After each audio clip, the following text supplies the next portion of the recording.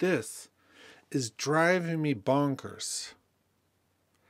I'm sure there's a logical explanation, but I don't know what it is off the top of my head. So maybe some of you geniuses can help me. I'm playing this project, which you can't hear, and um, it just like maxes out all of my threads until I take the buffer size down 256, right? That's like a, a quarter of what it was.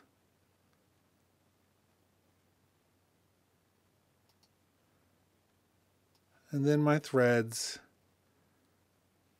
go back to normal.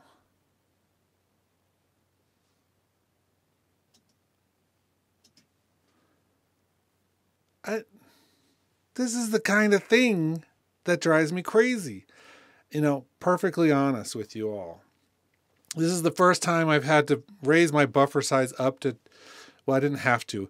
I raised it up because I was doing a, an Atmos demonstration in uh, class the other day.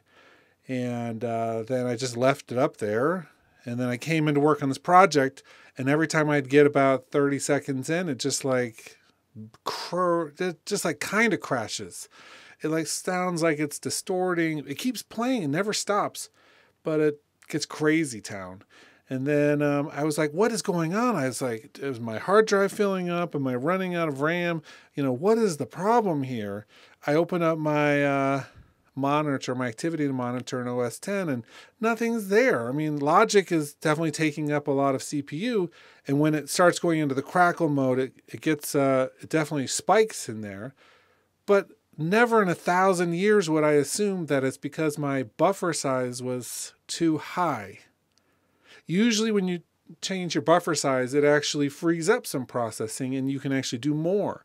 So I recommend to students, you know, when you're mixing, if you're on a limited system, raise the buffer size. It'll give you that little bit of extra room. If when you're recording, you want to lower the buffer size so that you have less latency. But on the M1, which I'm working on, that highest buffer size seems to not work. Um, certainly doesn't give me more processing. Whatever it's doing, it's a, it's like a leak. And so it's it's going crazy. Never once did I imagine I'd be making a video that says I'm having problems at 1024 that are fixed by moving this to 256 or below. In fact, let's just do this real quick. Um, I'm pretty sure with this project, I can take it down to 32. I'm not positive um, because it, it does have a few things in here but uh, let's see if it'll play back. Let the uh, the drive I/O pops up because it's reloading all of the the samples and things. Uh, and you'll hear this a little bit of bleed through my headphones, but that's it. Yeah, it plays great.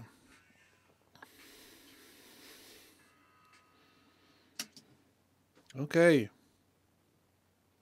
Let's chalk this up to uh, one of those amazing things that we experience in Logic sometimes called uh, stupidity or a mistake or a bug or just epic fail for sure. Uh, I uh, hope you're having a great week. Uh, I'd love to know is anyone else having this particular bug in any pre previous versions of Logic?